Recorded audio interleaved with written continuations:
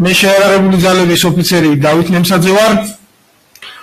აა ჩვენ გუნდები ჩვენი ყოველკვირეული პროგრამით აკვარიუმი რადიო ეთერში ჩვენ დღევანდელი სტუმარი არმიის თადარიგის ოფიცრები ვიცე-პოლკოვნიკი საზაქვარაია და თადარიგის უფროსი ლეიტენანტი ომის ინვალიდი მირიამ ხრთველიაშვილია.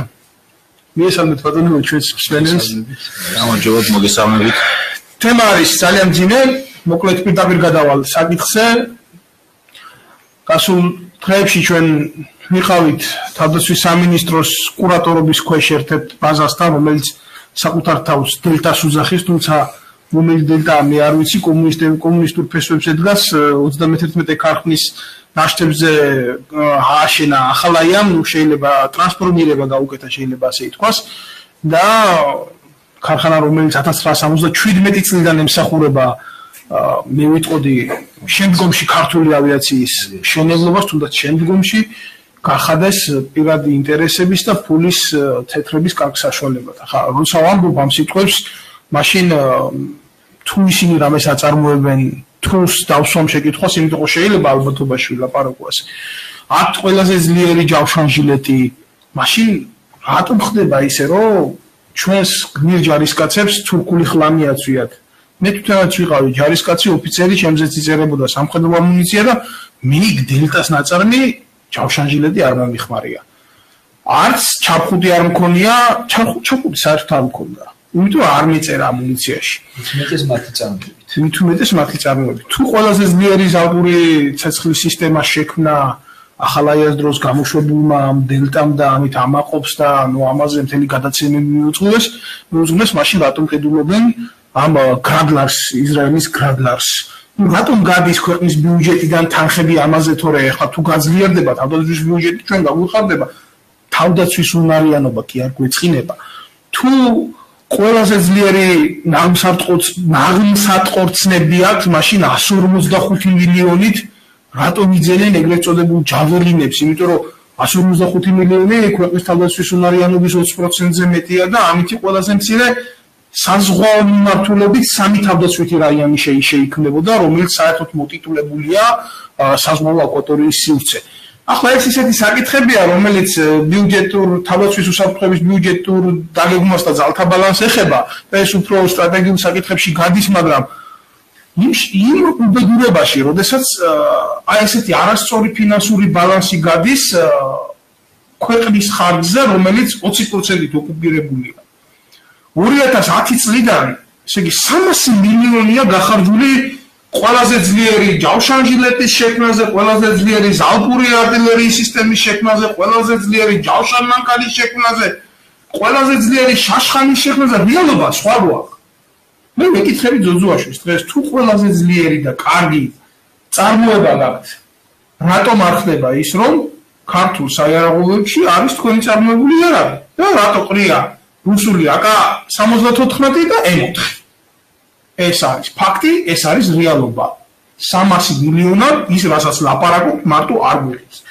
ეხლა სანამ აქამდე ჩავიდოდეთ, ვიტყვი იმას, რომ სტილტას ბაზა ახალაიას შექმნის პერიოდიდან 2003-3000 კაცამდე იყო. შემდეგ ეს ყველაფერი შეამცირეს, დიდი რეორგანიზაციების შემდეგ, იმიტომ რომ აშკარა იყო ესეთი პლანგვა ბიუჯეტისა და იყვანეს 1346 კაცი მე ახლა უბრალო ადამიანებს ჩვენ არ ვეხებით ვინც დაზგაზე მუშაობს ვინც სპეციალისტი და ძირთად ეს ქარხანა რაც დგას ხო ეს დგას ისევ და ისევ ძველი კადრებზე რომლებმაც თქვა საბჭოთა კავშირის დროს მიიღეს იმ დაზგადანადგარებზე პრაქტიკა. დანარჩენი იქ არ მომხდარა არაფერი ისეთი სერიოზული რომ მოსწავლეები აეყოლათ ესწავლა ახალგაზრდებს მომხდარიყო ამ ცოდნის გადაცემა ან ესე მიზან მიმართულად ანგრევდნენ ამ პროცესს და შემდეგ უკვე ძოძუაშვილი რომელიც მოსული იყო ხიდაშელის მიერ მივიდა თუ არა სამსახურში მოიყვანა ისეთი პერსონა ბატონი ომარ ბეგოიძე რომელიც იყო გენშტაბის უფროსის პირველი მოადგილე ნაომარი არ იყო.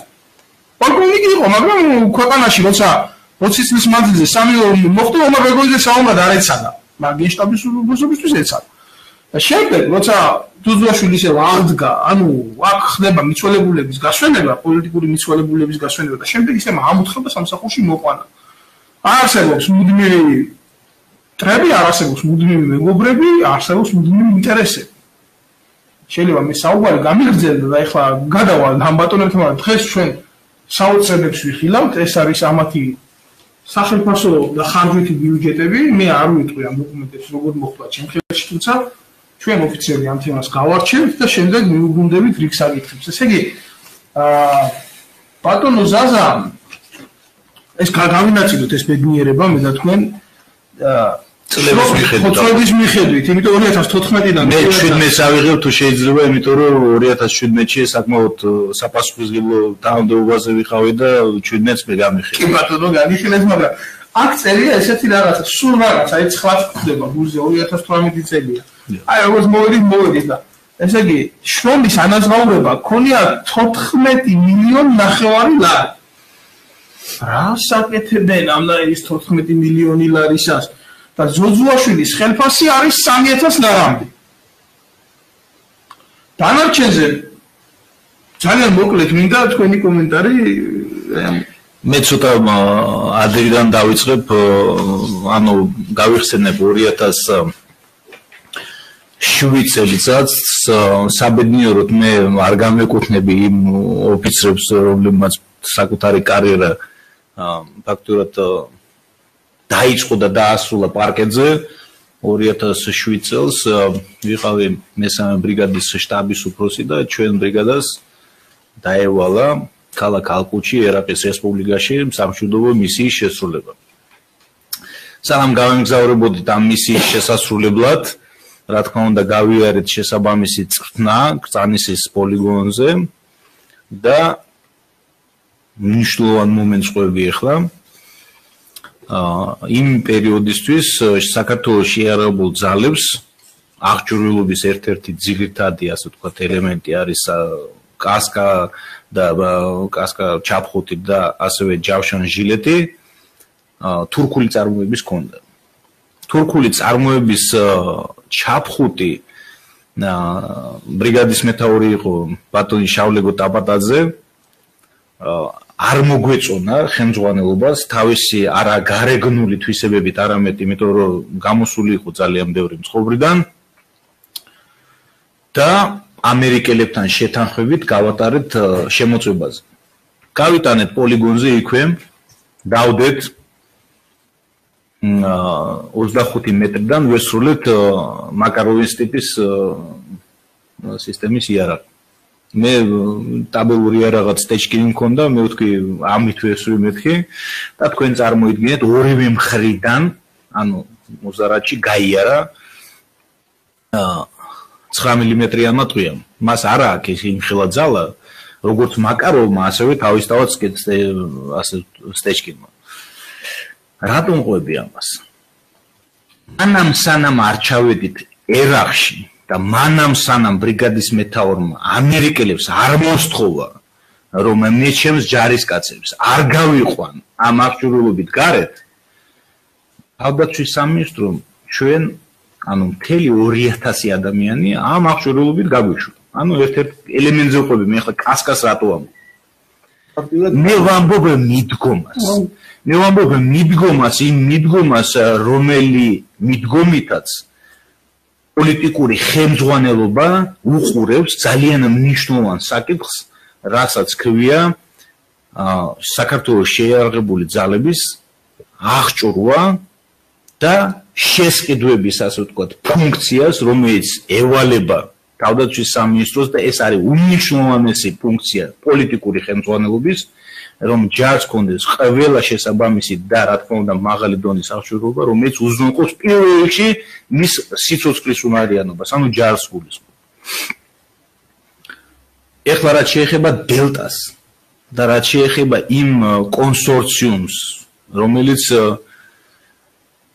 დაკავებული არის ძალიან კეთილშობილი საქმით, კეთილშობილება იმაში მდგომარეობს, რომ ჯარს უნდა მისცენ ის, რაც უზრუნველყოფს მის სიცოცხლის უნარიანობაზე ბრძოლის ველზე, მაგრამ სამწუხაროდ პროდუქტი ხარისხიანი არის, შეიძლება ასე ვთქვას, აი მაგალითად კასკა რო ავიღოთ, ჩაფხუტი რო ჩაფხუტი რო ავიღოთ და ასევე ჯავშანჟილეტი რო მავიღოთ. მაგრამ ერთადერთი სადაც ეს ერგო დღეს ჩვენ ჯარისკაც ეს არის მხოლოდ და მხოლოდ ავღანეთის მისია. დიდი კითხვის ნიშანია. რატომ? თუ არის შესაძლებელი გვეკაი ხალხო, რომ გყავდეთ 11 დეპარტამენტის უფროსი. აქ წერია. დიახ, რა თქმა უნდა, მან წერია ისე არ ვიტყოდით არაფერს 11 დეპარტამენტის უფროსი, რომელსაც თვიური ხელფასი ექნება 2600 ლარი. ანუ საშტატო განრის გულისხმობ შეიძლება ნაკლები ყავდეთ, ეხლა რაოდენობრივად ეგ ეხლა მაგას ვერ მოგახსენებთ, მაგრამ თუ ასეთი შესაძლებლობა არის, ნუ თუ იმის შესაძლებლობა არ არის, რომ ჩვენ ჯარისკაცებს არა მარტო ავღანეთის მისიაში, არამედ საკუთრი აი ყველა ქვედანაყოფში კონდეს ეს აღჭურვილობა. აი ჩემი დიდი კითხვის ნიშანი ამ კონსორციუმთან, სადაც 10 დეპარტამენტის უფროსია თქვენ, მართლა აი ადამიანებო. დეპარტამენტი მე ვიცი ერთადერთი თავდაცვის დეპარტამენტი ამერიკელებს ყავს ასეთი დაწესებულება არის აი ეს სამინისტროს დონეზე გადის. გენერალურ შტაბში დღეს არის 8 და ერთ სიფში 11 რო იქნება. ეს რანაირად უნდა აუხსნათ. ჩვენ საზოგადოებას ჩემამდე არ დადეს ეს ახალი ისა ვიგონა შესასვლელად. და ბუდიჟმისტი აქ ჩაურთავ დიდი ბუდიში ბატონო მერიანი სანამ ჩვენ ნატოში შევალთ ასე ასეთი ასეთი სტრაფი გეგმებით. ეს ფორსირებული მეთოდია ეთყობა ტაქტიკა აქვს ასეთი მაგრამ აგერ აღმოაჩინე საოცარი რაღაცა 6 მილიონ 830000 უწერიათ საკუთარი შემოსავლები მე არა ვარ ეკონომისტი და ფინანსისტი, მაგრამ მე რაღაც ტერმინი არ მომხდა, უზე რაც ნიშნავს საკუთარი შემოსავლები. სადაც იმ ავღანეთში კემლარის ჩაფხუჩი ტყვიამ მარჯვნიდან მარცხნივ გაიარა ზოზუაშვილმა უკვე 6 მილიონ 830000 მოასწრო საკუთარ შემოსავლებში დაეწერა. მე არ ვიცი კიდევ ერთხელ, მე არ ვიცი ეს ტერმინი რას ნიშნავს, მე ძალიან ცუდად მხვდება ყურზე საკუთარი, როცა სახელმწიფოებრიოზია ლაპარაკი და თუ იმეს ეს კიდე აწუხებს ჩემს გარდა ყურს საკუთარი როცა სახელმწიფოზეა ლაბარაკი, იქნებ მიხვიდოთ და გააკვიოთ ეს რა ხდება. საბიუჯეტო სახსრები 22 მილიონ 968.000. მე არ მესმის ესენი რა არის, პირდაპირ მე ერთი რაღაცა მესმის. მირიამ, სანამ შენთან გადმოვიდოდე შეკითხვაზე, ძუძუაშვილის, ბატონი ძუძუაშვილის პრეზენტაცია ვნახე ერთ-ერთი წარჩინებული მედიით, ეხლა არ დავასახელებ მაგას, სადაც მოიტანა ესეთი ხელ ხელყუმბარა, და გაუკეთა პრეზენტაცია ეს მაყურებლების წინაშე და ფლუკ თურმე აი ეს ყოფილა მათი წარმატება რომ ამას ამ გასროლის მერე ხმა არა აქვს და ამისთვის უნდა გაიყოს ქართულმა ერმა ძალიან ბევრი შემოსავალი და ჯოჯოძუაშვილი უნდა დადგეს და უნდა გააკეთოს ამის დემონსტრირება და უნდა დაუკრათ აქედან ტაში. მე კიდევ ერთხელ ვიმეორებ. ამ საზოგადოებაში მუშაობს სხვადასხვა პროფესიის ადამიანები. რომლისთვისაც შეიძლება ეს სპეციფიკა არ იყოს გასაგები, მაგრამ ჩვენ ძალიან კარგად ვიცით და გვესმის. ეს არის თაგორნიანი რელიეფი. სადაც სატანკო ბრძოლა იმ ვითარებაში და იმ მოსაზრებით არ ამართლებს, რომ ქვეყნის თავდაცვის ბიუჯეტის 20% გაისროლო ჯაველინებში და შემდეგ ადგე და ერთი იმდენი კიდე გადმოისროლო ეგრეთ წოდებული დელტაში რაღაცის შესაქმნელად რომელსაც გამოიტანდა ხალხის დასახალ პრეზენტაციას გაუკეთე პლუყ ესე არ ხდება. ნუმერიან თქვენ თუ გინახიათ ამათი ნაწარმოები რა მე ახლა მოგახსენებთ ჩემს მოსაზრებას მართლა გაზუსურ ვითარებაში ვართ რა და უცოტა არ იყოს მიგვირს იმდენად რამდენადაც რომ მე მახსენდება ჩვენი 91 12 13 წლის ბრძოლები აა სხვათაშორის თუ ვინმეს ქონდა საშუალება რუსული ჩაფხუტებით ვიბრძოდით, ვისაც ქონდა ეგ ფუფუნება, ვისაც არ ქონდა და ბენდენებით და კეპებით ვიყავით იქ. მე ხა ბატონი ზაზას პათოსი მომეწონა ძალიან რომ 25 მეტრში რომ მაკაროვი გლულულიანი ტყვია წარმოვიდგინეთ რომელიც არ არის სამხედრო დანიშნულების იარაღი. ეგ უფრო ასე ვთქვათ ძალოვნებში განუსაყენებელი არ აღია რომ არა ქმედის არა ქმედით უნარიანი გახადოს მოწინააღმდეგე ახლო დისტანციაზე ის რომ გახრიტავს კასკას ვერ მხრივად ანუ იგივე ჩაფხუტს ხო? ну წარმომიდგენია გინდა კეპკაკფარებია და გინდა ის ჩაფხუტი ამასთან დიდი არსებითი მნიშვნელობა არ ქონია. ეს მეწვევებს იმაზე რომ რამდენად ნაკლებად მნიშვნელოვანი ყურადღება ქონდა იმ მომენტისათვის მინიჭებული იმ სამხედრო პირებს ვინც უნდა ყოფილიყო ეგეთი აბუნდიროვანით ესე რომ ვთქვათ და ესეთი აღჭურვილობით ხო ეს ერთი გარემოება. მე მეორე გარემოება ის არის, რომ 31 ქარხანა წოდებული თავის დროზე საკავშირო მასშტაბის ქარხანა იყო, საავიაციო ქარხანა იყო. აა მაშინ, როდესაც რო მე კიდევ გავიხსენებ ძველ დროს, ჩვენ აი იმ პერიოდს გავიხსენებ, როდესაც სულ ახალი დამთავრებული იყო ქართულ-აფხაზური კონფლიქტი და რამოდენიმეჯერ გაზღერდა ტელევიზიითო საჰაერო დავდაჩა ჩვენ ქონდა ფაქტიურად ნულზე დაშვებული და ამ ქარხანას ეზრუნა საჰაერო თავდაცვის გაძლიერებაზე. იგივე ის თვითმფრინავების სახით იქნებოდა თუ სხვა მასთან დაახლოებული ტექნოლოგიებით რატომ შეცვალეს პროფილი და მუტაცია განაცდევინეს ამ ქარხანაზე გადავიდნენ ჩაფხუტებზე და ბრონეჟილეტებზე და არ ვიცი მისი დანიშნულება აი ესე ჩემამდე არ გადის და მით უმეტეს ჩაიყარა რამდენი მილიონები და მილიარდები. ესეც კალუსია ბატონია მოდი შეგიფრით მაგერ 2015 წლიდან გამოვინაცვლი 2016-ში და აქ უკვე საკუთარი შემოსავლები გაზრდილა აგერ უკაცრავად 9 მილიონ 260000 ლარი ეს საკუთარი შემოსავლები და საბიუჯეტოდან არიცი უკვე 28 მილიონი ლარია რა.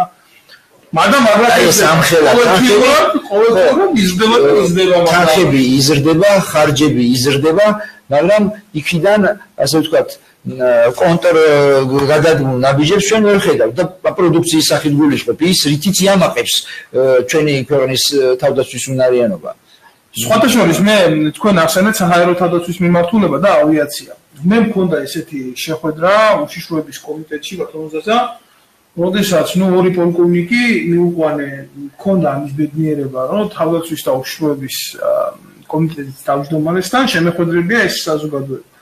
და ჩვენ უთხარით მთელი რიგი საკითხები თუ რა სავალალო დღეშია დღეს ქართული საჰაერო თავდაცვის სისტემა. იცით რა გუპასუხა სესიაშვილმა ესე? ძალიან მარტივად ყველაფერი აქ ეთერში არ რითქმის პირდაპირ მაგრამ მეო აი სული პასუხის მგებლობის ქვეშ ვაცხადებ. ამას და ის ორი პოლკოვნიკი მათ შორის ერთი პოლკოვნიკი კუზნეცოვი და მეორე პოლკოვნიკი მსხალაია მე ამაში დამემოწმებიან რომ აი ასე გამვიცხადა მე რადმინდა ძველი რუსული ნაგავი რომელიც არსებულად აქვს საქართველოს და უბრალოდ საჭირო იყო ამით სათანადო მოვლა და საჭიროა დღესაც. თუმცა მე შემიძლია ეს ყველაფერი შევაქმნიო დოზოაშვის დელტაში და თქვენ წარმოიდგინეთ ის ნაგავად წოდებული უფრო ბრძოლის უნარიანი იარაღებია. დღესაც კი აქტუალური ვიდრე აი რაღაცა თანამედროვე შექმნილი რომელიც არც იცის ნორმალურად სამხედრო სამხედრო აი ეს თუნდაც ექსპერტების დონეზე რო ავიყვანოთ რომ აი არიციან ეს კი გასაგებია მაგრამ მე ფიცი მწამს და ბოლო მაკვირვებს რა. ამათ გონიათ რომ საჰაერო თავდაცვის იარაღის წარმოება თუნდაც იმ ბუტაფორიული სახით რომელიც ამათმა ჩაიდინეს ქართული საზოგადოების კიდეზე ბევრ შემთხვევაში. ყველანაირი გამოცდის ყველა ეს ასე ისე ხდება რომ თითქოს ეს ყველაზე მარტივი. ამას სამხედრო წარმოება საჰაერო თავდაცვის მიმართულებით ვერ აკეთებს იმხელა გეოპოლიტიკური ქვეყნები და ვერ ტესტავს ამას სათანადოდ როგორიც არის თქვა ამერიკა და რუსეთი და ერთ მოდიფიკაციას რო გააკეთებენ ისინი რამოდენიმე ათეული წელი დგას ამ ქვეყნის ძლიერი არმიების შეიარაღებაზე. კაცო გასხვია სესიაშვილს მოუნდა და ძოძუაშვილს დაუკვეთა და ფელტაში შეაგდეს და გააკეთეს. რა ესე არ ხდება? ჩვენ ყველას გვახსოვს 2008 წლის რომ მე თვითონ ვარ საჰაერო თავდაცვის ოფიცერი. და სერიოზულობა დანაკლისმა. რამა ჩვენ ჯარებს მოუტანა უზარმაზარი ტრაგიზმი და სხვაები ეს იყო ზუსტად გამოწვეული იქედა რომ ჩვენ ვერ ვერ შევძელით ოპტიმალურად გამოგვეყენებია ის ტექნიკა, რაც ჩვენ არმიის ბალანსზე იყო. იმიტომ, რომ ნაწილი იყო ჩამოწერილი და უარგისად შესყიდული, ნაწილმა კიდე ემისი ექსპლუატაცია სათანადოდ არ იცოდა. და თქვენ ყველაფერ ამას დაადებით გრიპი და შეინახეთ. და ამის ჩამდენი დღეს ამ უბედურებისა რიგ შემთხვევებში გამოდის და მორალს უკითხავს დღეს ქართულ ჯარს.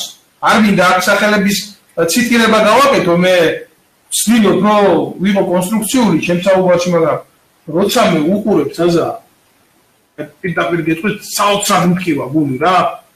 ხალხმა და საზოგადოებამ ხო იმდენი რამე არ იცით რაც ჩვენ რეალობაში ვიცით რაც ჩვენ რეალობაში ვნახეთ რა.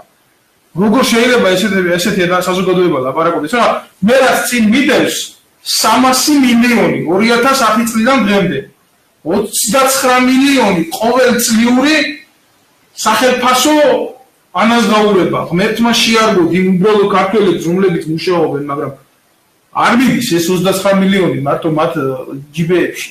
ისინი წდება ზევით და დარჩენი არიან ყველა ფასადური როგორც ის დელტა შენობა რაც ჩვენ ვიხილეთ ამაზე წდება საკმაოდ იმაშია დავით რომ თქვენ რო თქვით გრიფი დაადეს გრიფი იმიტომ კი არ ადებს იმას რომ იქ რაღაცა ზებუნებრივი იარაღები წარმოება მიმდინარეობს და სტრატეგიულად განართლებული და ასე თქვა სოფლიოს გასაოცრებლად იმიტომ არის ის გრიფი დადებული რომ როგორ ჩაიხება რა საზოგადოება ვერ მიწვდეს რეალურად სად მიდის ის ამხელა მილიონიანი და მილიარდიანი ხარჯები რა დანიშნულებით მიდის და რას შედეგს იძლევა რა უკუ შედეგს იძლევა ის თანხები. აი მაგიტომ არის ეს გრიფი მან დადებული სინამდვილეში მან დო იყოს ის გამოყენებული დანიშნულების ამებრ და ნამდვილად მუშაობდნენ როგორც თქვით სპეციალისტები რომლებიც თავის დროზე ჩარეცხა მიშამ პროფესორ აკადემი აკადემიისტი პროფესორ აკადემიურა რო ჩარიცხა სააკაშვილმა თავიდანვე იქ მარტო უნივერსიტეტის პროფესორ აკადემიკოსებს არ ეხებოდა ის იქ ის ეხებოდა თავდაცვის სისტემაშიც. თექსამეცი რა თქმა უნდა იმ პროფესიო ყველა პროფესიონალს ეხებოდა ეგ და გადა წინალდ შემთხვევაში ხელში არ ჩაუვარდებოდათ ასეთი სტრატეგიული დანიშნულების ობიექტები აი ისეთ კატეგორიას როგორიც არიან აი თქვენ ჩამოთვალეთ ახლა მე მინდა შენთან გამოვიდე შეგიტყვით ნუ შენ ძალიან კარგად იცი რა და დათვითო აგუძურის დროს ნუ ავიაციას რა. დღეს ჩვენ გვაქვს საზარელი მდგომარეობა და კონსერვებულია მთელი საფრენი აპარატურა. მე მინდა რომ აი ამაზე ჩაუგობო სახლებობას და შემდეგ ნუ რა თქმა უნდა ტვირთი ტვირთი არის ზუსტად ამ საზოგადოების რომელიც დღეს იძახის რომ ჩვენ მოვლა არ შეგვიძლია ამ საფრენი აპარატების იმიტომ რომ ჩვენ არ გაგვაშია იმის რესურსი შედეგად მივიღეთ ჩვენი ის ბატონო რესურსზე რესურსზე მე გავამახვილებ ეს არის უკაცრავად ეს არის მიზანმიმართული ბრძოლა ქართული ავიაციის მიმართ. ეს არის ბრძოლა მიზანმიმართული ქართული შეერაღებული ძალების მიმართ როდესაც სახელზე გვაქვს სახეობა არმიაში საჰაერო თავდაცვის ავიაციის განადგურება მიზანმიმართული დაკონსერვება და გაჩერება. მე უფრო ასე ვთქვათ შემოვიფარგლები უფრო მარტივი სიტყვით ეს არის ბრძოლა სახელმწიფოს წინააღმდეგ და არა რაღაც კონკრეტული ასე ვთქვათ სახეობის ან გვარეობის ჯარში და ფაქტობრივად ეხლა ზუსტად 3 წუთს თუ მაცლით დავამტკიცებ ამას. კი ბატონო. 2017 წელს მივასრულებდი J3 ანუ ოპერატიული დეპარტამენტის უფროსის მოვალეობას. რა პერიოდშიც განხორციელდა ოპტიმიზაცია, ბოლო ოპტიმიზაცია, ანუ 2016 წლის ოქტომბრის თვეში ეს აქტიური თემა არის და მაგ პერიოდში ვარ ზუსტად თანამდებობაზე. გენერალური штаბი დაიყვანეს შეგნებულად იმ რაოდენობაზე, რომელსაც მე ახლა თქვენ ჩაგიკითხავთ კონსორციუმ დელტაში. უსმინეთ ახლა ძალიან ფულით. გენერალური დირექტორი 1 აღმასრულებელი დირექტორი 1 გენერალური დირექტორის მოადგილე 3 სამხედრო მრჩეველი 2 გენერალური დირექტორის თანაშემწე 1 აღმასრულებელი დირექტორის თანაშემწე 1 დეპარტამენტის უფროსი 11 თავარი სამართლოს უფროსი 2 კოორდინატორი 3 უფროსი ბუღალტერი ნუ არ შევეხე 4 სამართლოს უფროსი 15 მთავარი ბუღალტერი ერთი, ბუღალტერი ხუთი, სპეციალისტი 82, მთავარი სპეციალისტი 6, წამყვანი სპეციალისტი 31, უფროსი სპეციალისტი 22. ჩამონათვალი არის ძალიან გრძელი. ეხლა დროს არ წაგართმევთ და გეტყვით, რომ გენერალურ შტაბში 2016 წლის ოპტიმიზაციით დარჩა უფრო ნაკლები საშტატო ერთეული, ვიდრე კონსორციუმ დელტაში, სიპ დელტაში. რას არა კონსორციუმს ასე რომ ამბობ რა. რატომ გაკეთდა ეს? ეს იმისათვის გაკეთდა ერთი გენერალური штаბის რგოლი შესუსტებულ იქნა მაქსიმუმამდე და გაძლიერდა და რა თქმა უნდა შენარჩუნდა ის მექანიზმი, რომელიც მარტივად აძლევს საშუალებას კორუმპირებულ ადამიანებს, რომ გააკეთონ რაღაც გარკვეული შემოსავალი რო გქონდეთ იმისათვის, რომ აიშენონ რაღაცა სახლი, ერთი, მეორე და ასე შემდეგ. ანუ ესენი ბატონო დავით, სახეობებს და გვარეობებს კი არ ებრძვიან. ესენი ებრძვიან სახელმწიფოს. გენერალური штаბი არის ორგანო, რომელიც გეგმავს და ომის პერიოდში მართავს გარკვეულწილად მართავს შეიარაღებული ძალების დინამიკას. ბრძოლის დროს ძალიან მნიშვნელოვანია სარდლობებიც არის თავისთავად, მაგრამ სარდლობებიც დააკმინეს, ნულამდე დაიყვანეს. მე თათბირზე ვიჯექი, როგორც დეპარტამენტის უფროსის მოვალეობის შემსრულებელი და ვეუბნებოდი, ministrიც იქიყო და ასევე მისი მოადგილე და ყველა დეპარტამენტის უფროსი და რა თქმა უნდა მთელი შემადგენლობა და ვეუბნებოდი. ჩვენს გენერალურ შტაბს დღეს არ აქვს მეთქი იმის პოტენციალი გონებრივი რომ ეს პროცესი წაიყვანოს ერის მიზნის შესაბამისად, ეროვნული მიზნის შესაბამისად. ნუაკეთებთ ამას იმ ჩარჩოს ქვეშ, თითქოს და თქვენ ამას აკეთებთ იძულებული რომ ჯარი უკეთესი იყოს. ამის გონებრივი პოტენციალი დღეს არ არის მეთქი. ამიტომ ამ ჩარჩოს ქვეშ ნუმალავთ მეთქი ამას და რა თქმა უნდა თქვენ წარმოიდგინეთ რანაირი ობიექტი გავხდებოდი მე გენერალური შტაბისთვის და ზოგადად თავდაცვის სამინისტროსის ასეთი განცხადებების მერე და ამას არა ერთხელ არამედ ძალიან ბევრჯერ ვაფიქსირებთ. მე წინა გადაცემაზე თქვი ბატონო დავით, მე ავირჩიე ანუ გენერალი კაპანაძე ის რომელიც ესე იგი იყო შემჩნული ყოველგვარ კორუფციაში და მთელმა ჯარმა იცის. სინკარის გამყიდველი გენერალი ავარჯიე ისეთ გენერალთან შედარებით რომელიც იყო ქვეყნის გამყიდველი. კოდორის ხეობის ჩავარების მომენტს გულისხმობს ამიტომ ეს არის ციფრები ეს არის რეალური დოკუმენტი ეს არ არის ყალბი და რაღაცა.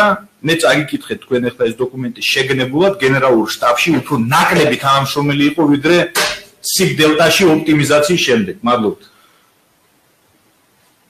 საერთოდ ჯობია ილაპარაკოს ადამიანმა რომელმაც მეტი იცის მეტი უფრო ნახა მაგრამ ფაქტი ერთია. აი ამ ფაქტს ქვია კორუფცია ნეპოტიზმი გამოძალვა გაფლანგვა. მეტი კი არაფერი არ არის ეს ძველ რომში ასე დანაშაულის გულისთვის ხო? კორუმპირებულ პერსონას რომელიც მოიცავდა ამ ერთობლიობებს ნეპოტიზმს გაფლანგვას გამოძალვას და ასე შემდეგ ცარპის კლდიდან აგდებდნენ. მიიყვანდნენ იქ დამნაშავეს რომელიც სახელმწიფოს უთხრიდა ძირს ამოარტყამდნენ პანგურს და აგდებდნენ ცარპის კლდიდან სხვის დასანახად რა თქმა უნდა ჩვენ ცივილიზირებული სამყაროს წევრები ვართ ამას ვერ გავაკეთებთ მაგრამ როდესაც 11 დეპარტამენტის ხელმძღვანელი ყავს და ამ დროს სპორტის ოსტატი დამსახურებული სპორტის ოსტატი საბჭოთა კავშირის ჩემპიონი პოლკოვნიკი ხვიჩა გაბიევი ეროვნებით ოსი რომელიც 2008 წლის ომის დროს ულობდა საკუთარი ეთნოსის მე ასე ვიტყოდი ხოსები რომელიც ჩვენს გვესროდნენ მათ წინააღმდეგ და საკუთარი мама ისე გასვენდა ცხინვალიდან რომ თვითონ იქ ვერ ჩავიდა იმიტომ მას წინააღმდეგ ისროდა ტყვიას დღეს მაკდონალდში არ უნდა მუშაობდეს დაცვაში ეს არის დაცინვა სულში ჩაფურხება ქართული შეიარაღებული ძალების და ორმაგი ჩაფურხება არის სულში, როდესაც დღევანდელი გენერალური შტაბის უფროსი ვლადიმერ ჩეჩიბაია გამოდის და ლაპარაკობს, რომ თურმე შეიარაღებული ძალები არის ისეთი მოწყობის სახელმწიფო ინსტიტუცია, სადაც ეთნიკურად და პოლიტიკურად არ უყურებენ და არ ასხვავებენ. ბატონო ვლადიმერ, თუ ბატონი გაბიევი იყო კონტრდაზვერვითი საფრთხე საკუთარი წარმომავლობით ასეთი წარმატებით შეიძლება თქვენ ოჯახსაც ილაპარაკოს ვინმე. და არ შეიძლება ესეთი რაღაცა დაუშვა და მაგალითი გახადო. და უთხრა ყველას და სინამდვილეში აი ეს შეფუთო და შეინახო სახელმწიფოში. იმიტომ რომ ესაა სახელმწიფო დღეს შეიძლება თქვენ ეს დამალოთ მაგრამ ხვალ თქვენ ამისთვის ბრალს წაგიყენებენ. თქვენ კი არა სისტემას წაუყენებენ ამისთვის ბრალს. იმიტომ ესაა საკუთარი ქვეყნისთვის ზირგამომთხრელი საქმიანობა ბატონო და მე ისე მინდა თქვენ დაგიბრუნდეთ და გკითხოთ ქართული ავიაციის წვლილი მე 2008 წელს, როდესაც მსახურობდი და იყო ეს საომარი მოქმედებები, ერთი გაფრენა გააკეთეს და სამი მომდამშენი იყო, მათ შორის ერთი დაბრუნდა საბრძოლო ტვირთით ისევ ბაზაზე, მაგრამ ხომ მაინც გაფრინდნენ ქართული ავიაციის სახელით. ხომ მაინც ვიდექით, ხომ მაინც ვცდილობდით რაღაცა გვენახა. აი თქვენ რა სიტყვით, ის არ იყო იმედი, რომ იმედი, იმედის მეტი იყო, იმედის მეტი არ იყო.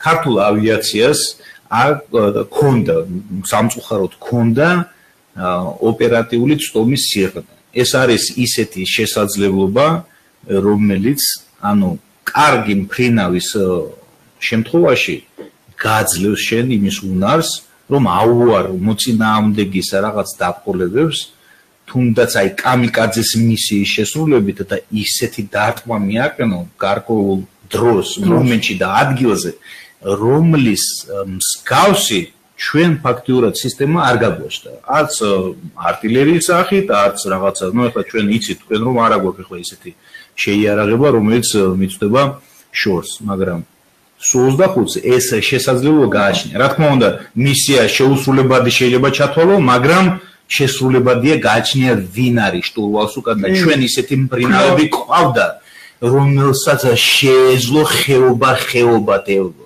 კავკასიის მთებში. სულ 25 ერთეულები იყო ასეთი მფრინავები მათ შორის მაგალითად მოიყვან შინგაზდილო კი შინგაზდილოვი აი რომელსაც შეეძლო აფრიკაში ბებში ეფრინა რომელიც აუვლი და მოწინააღმდეგის ძალიან ბევრ დაპყრობას შეიძლება ვერ მისულიყო მაგრამ დიდი ალბათობით მივიდოდა მისი პროფესიონალიზმით აფხაზეთში ეს ბევრჯერ გაუკეთებია და ისეთ დარტყმას მიაყენებდა ჩვენს პოტენციურ მოწინააღმდეგეს რომლის მსგავსი ჩვენ შესაძლებლობა არ ქონდა. აქ მთავარი რა არის? აქ დარგებს, სახეობებს და გვარეობებს არ ებრძვიან როგორც ვთქვი, ებრძვიან სახელმწიფოს. ებრძვიან სახელმწიფოს, ვინაიდან სახელმწიფო უნდა დაკნინდეს ვიღაცის წინ. თქვენ მე ახლა დამისვით ისეთი შეკითხვა, რომელიც აი რთული არის პირდაპირ ეთერით ამას ამაზე გასცე საზოგადოებას, იმიტომ რომ ძალიან მტკივნეული არის. მით უმეტეს ჩემთვის როგორც მე ჯარი სულ რაღაცე თვე ორი თვის უკან დავტოვე და ვიცი რომ მტკივნეულია მისმენს ძალიან ბევრი ადამიანი. ჩვენ ღალაჩი ეს სახელმწიფო არის ნაღალატევი სახელმწიფო რომელსაც სამწუხაროდ ჯერჯერობით ვერ პატრონობენ. მიზეზი სხვადასხვა შეიძლება ჩამოთვალო. მაგრამ სამწუხაროდ ჩვენ ისეთ რეალობასთან მიგვიყვანეს დღეს, რომ ის რეალური მტერი, რომელიც ჩვენ გვებრძვის, იმას მიყენებული ვყავართ, მე წინა გადაცემაში ვთქვი, უფსკულთან ვარ და ერთი დაჯიკავებაღა დარჩათ. აი ამას ელოდებიან. მე ამას ვერ ველოდები თავისთავად ამას ყველანაირად წინააღმდეგობას უწევ თქვენი ყველანაირ რესურსით რაც არის ეხლა აი ეს რადიო რა თქმა უნდა საქართველოს ხმა გვაძლევს იმის საშუალებას რომ მაქსიმალურად ყავდეს რაღაცა დონეზე საზოგადოება კი გვისმენ თითო სიტყვას ანალიზები. კითხველი არ აკავს მაგრამ სმენელი ყავს მაგრამ დღეს როგორ არის იცი ადამიანებს თვალები აქვს და ვერ ხედავენ ადამიანებს ყურები აქვს და ვეღარ ისმენენ. აი ამ ზღვარზე ვარ მისულები. მე ჩაო თუ შეიძლება ჩაო ჩაო ვერთვების თქვენ საუბარში დიდებულად თქვა. მოზაზამ და ჩვენს ქვეყანას დღეს ყავს ორი სახის მტერი. მტერი რომელიც აშკარა შეიარაღებული და პირდაპირ დაპირისპირებით და მტერი რომელიც აი ეს შიდა ძირ ფესვი ძირ გამომთხრელი პოლიტიკით თავდაცვის უნარიანობის დაკლინებით და თავიანთი კეთილდღეობის გაუმჯობესებს ხარჯზე რომ ანგრევენ ქვეყანას. აი ესეთი სახის მტრები ყავს. მე გავიხსენებდი შეეხეთ ახლა საუბარს ეთნიკურად ეროვნებით ოს პიროვნებას მე მაგას არ ვიცნობ პიროვნულად მაგრამ უკვე ჩემთვის დასაფასებელია ჩემთვის უკვე დასაფასებელია რომ ის ადამიანი ესეთი წარსულის მქონე იყო და მე ესეთი ფაქტის წინაშე დააყენეს. მე გახლდით 2002-3 ეს წლები სანამ ვარდების რევოლუცია მოხდებოდა და ასე ვთქვათ გადაიბარებდა სააკაშვილი და მისი ხუნტა სხვანაირად ვერ გამოვიყენებ ხელისუფლებას მისი დაპირება რომ პირველ წელს შეხვდებით გიორგობას აღნიშნავთო სამაშაბლოშიო აი ეს 2004 წლის საომარი მოქმედებები დღეს ფაქტიურად არის იგნორირებული ესე იგი ყოველგვარ ინფორმაციულ ვაკუუმშია მოქცეული და იმ დროინდელი ჩადენილი ცოდვები დღემდე რომ მოყოლა და იმკის ქვეყანა. მინდა რამის თქვი 5 წუთი დაგჭა მირია და მაგამდე შეფასება უნდა გავაკეთო ბძანე. კეთილი. მაშინ ორი სიტყვით ვიტყვი ამას და ნუ იმ დროინდელი წარმოებული ბრძოლებზე მაშინ ჩვენ რა გავაკეთოთ ბატონო დავით? სამაგისოდ გამოვხოთ მე ეთერი. კი, კი, ჩავე აუცილებლად და აუცილებლად. ძალიან ძამი. ძალიან რომ მე აი ამ 2004 წლის მოვლენებს შევეხო იმდენად რამდენადაც რომ დიდი უბედურება დაატრიალეს. აა ფაქტიურად იყო ესეც დამანგრეველი პოლიტიკა. როდესაც ცდილობდა ჩვენ ვსაუბრობ და ყველა დიდიან პატარიანად მიდის იმ აზრთან რომ ქართველი, ოსი, აფხაზი გაიძახიან რომ ეს ჩვენ ერთმანეთის მოძმეები ვართ. საუკუნოვანი ურთიერთობა გვაკავშირებს ერთმანეთთან და როდესაც ცდილობ ამ ერებს შორის განხეთქილების ჩაგდებას, ეს მე დიდ პოლიტიკურ დარტყმად მიმაჩნია სახელმწიფოებრივებისათვის. და ამაზე ჩვენ მაშინ ცალკე გამოვხოთ ეთერი და ვისაუბროთ. სანამ ძალიან ტერს მივაყენებ ახლა ძალიან ისეთ დარტყმას, ვიტყვი ფაქტს 2008 წლის ომის შესახებ. აა სულ 25-ების რგოლი გაფრინდა სტრატეგიული ხიდის გასანადგურებლად, ეს არის გუფთის ხიდი. აა ყველა მიცის ჯავიდან რო ჩამოდიხარ, ფაქტურად ვიწრო ხეობა არის და ამ ხიდის განადგურების შემთხვევაში ჩათვალეთ, რომ რუსების კოლონები ვერ შემოვიდოდნენ საქართველოს ტერიტორიაზე. დავალება მიიღო რგოლმა აღჭურვილობა ბეტაბი 8 ტონა თითოეულ 25-ს მიქონდა 500 კილოიანი 250 კილოიანი ბომბები. ეს ის ასე ვთქვათ ჭურვები არის ის სისტემები არის რომელსაც შეუძლია უშუალოდ ბეტონის ასე ვთქვათ მიზანზე კონსტრუქციაზე იმოქმედოს და ამ ადამიანებმა ჰაერში მიიღეს ამოცანის ცვლილება, რომელიც არ ხდება ქვეყანაში, ასეთ მსოფლიოში ესეთი რაღაცა არ ხდება, რომ ამ ხელა ამოცანიდან ცვლილება მიიღო და ეს ასე ვთქვათ, აღჭურვილობა ჩამოცალეს იმის საქმეა კი ბატონო მოწინააღმდეგის კოლონებზე, მაგრამ დამიჯერეთ მე მიაყენეს ბევრად, ბევრად უფრო ნაკლები ზარალი, ვიდრე გუფთის ხიდის განადგურების შემთხვევაში ჩვენ შეგვეძლო რომ მიგვეღო როგორც ჩვენ ეს ხიდის შემდეგ ასე ეს ეს ინფორმაციის სახით ანუ ეს თელმა თელმა თელმა უნდა იცოდეს. ექსკლუზივა დიახ ეს ექსკლუზივია ეს არის ერთ-ერთი მაგალითი ღალატისა.